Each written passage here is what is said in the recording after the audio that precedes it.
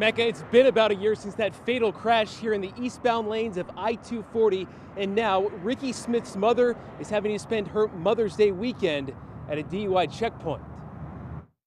Dolores Moore is doing everything she can to make sure others don't have to experience what she did. You get behind the wheel of a car and you drive drunk um, anything can happen. It's been a little more than a year since Moore's son, Rickey Smith, was hit and killed by a drunk driver on I 240. Almost like it happened yesterday. Smith, who was a season two contestant on American Idol, was simply driving home from work when a wrong way driver hit him head on. Now, Moore and her brother Robert are keeping his memory alive by talking about drunk driving. We wanted to try to find a way to be his voice. So, this weekend, the two are partnering with the Oklahoma County Sheriff's Office and will be attending a DUI checkpoint. The two will share their story with deputies to remind them just why stopping drunk driving is so important. The reality of it is there's drinking and driving going on every single day, right. and we can't turn a blind eye to it.